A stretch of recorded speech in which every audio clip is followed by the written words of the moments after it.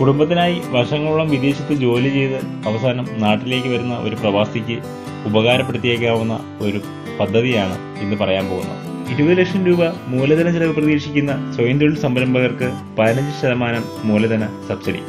അതായത് പരമാവധി മൂന്ന് ലക്ഷം രൂപ വരെ. ഇതിൽ പതിനഞ്ച് ശതമാനം തുക സർക്കാർ തിരിച്ചടയ്ക്കും. ലോൺ എടുക്കുന്നവർക്ക് സബ്സിഡിയായി സർക്കാർ നൽകുന്നതാണ് ലോൺ തുകയുടെ പതിനഞ്ച് ശതമാനം. അവശേഷിക്കുന്ന തുക പലിശയിൽ തിരിച്ചടച്ചാൽ മതിയാകും.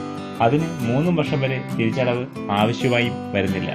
ചുരുങ്ങിയത് രണ്ടു വർഷമെങ്കിലും വിദേശത്ത് ജോലി ചെയ്ത് മടങ്ങിയെത്തിയവരായ പ്രവാസികളും അത്തരം പ്രവാസികൾ ഒത്തുചേർന്ന് ആരംഭിക്കുന്ന സംഘങ്ങളും ഈ പദ്ധതിയുടെ ഗുണഭോക്താക്കളായിരിക്കും.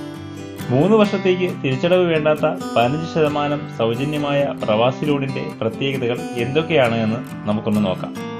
ഏതൊക്കെ മേഖലയിലാണ് വ്യവസായം ആരംഭിക്കാനാവുന്നത്?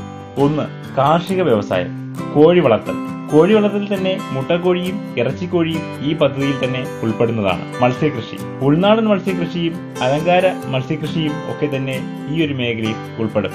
ഇതോടൊപ്പം തന്നെ ക്ഷീരോത്പാദനം ഭക്ഷ്യ സംസ്കരണം സംയോജിത കൃഷി ഫാം ടൂറിസം ആടുവളർത്തൽ പച്ചക്കറി കൃഷി പുഷ്പകൃഷി തേനീച്ച വളർത്തൽ തുടങ്ങിയവയൊക്കെ കാർഷിക മേഖലയിൽ ഉൾപ്പെടുന്നവ തന്നെയാണ്. രണ്ടാമതായി വരുന്നത് കച്ചവടമാണ്. പൊതുവ്യാപാരം അതുപോലെ തന്നെ വാങ്ങുകയും വിൽക്കുകയും ചെയ്യുന്ന വ്യവഹാരങ്ങൾ കടകൾ ഇതൊക്കെ തന്നെ കച്ചവടത്തിൽ പെടുന്നവയാണ്. സേവനങ്ങൾ റിപ്പയർ ഷോപ്പ് റെസ്റ്റോറന്റുകൾ ടാക്സി സർവീസുകൾ ഹോം സ്റ്റേ തുടങ്ങിയവയൊക്കെയും സേവനങ്ങളിൽ പെടുന്നവയാണ്. ഉൽപാദനം ചെറുകിട ഇടത്തര സംരംഭങ്ങൾ അതായത് പൊടിമില്ലുകൾ ബേക്കറി ഉൽപ്പന്നങ്ങൾ നിർമ്മിക്കൽ ഫർണിച്ചറും തടി വ്യവസായവും സലൂണുകൾ പേപ്പർ കപ്പ് നിർമ്മാണം ഇവയൊക്കെയും ഉൽപാദനത്തിൽ വരുന്നവയാണ്. മുകളിൽ പറഞ്ഞ മേഖലകൾ തുടങ്ങാൻ ആഗ്രഹിക്കുന്ന ആൾക്കാർ അപേക്ഷയോടൊപ്പം സമർപ്പിക്കേണ്ട രേഖകൾ താഴെ പറയുന്നവയാണ്. അപേക്ഷകന്റെ പാസ്പോർട്ട് സൈസ് ഫോട്ടോ.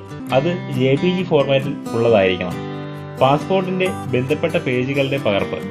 അതായത് വിദേശത്തിൽ തൊഴിൽ ചെയ്തിരുന്ന കാലയളവ് വ്യക്തമാക്കുന്ന രേഖകൾ അതിൽ ഉൾപ്പെടുത്തേണ്ടത് അത്യാവശ്യമാണ്. തങ്ങളുടെ സംരംഭത്തിന്റെ സംക്ഷിപ്ത വിവരണം. അതായത് ഒരു പ്രോജക്റ്റ് റിപ്പോർട്ട്.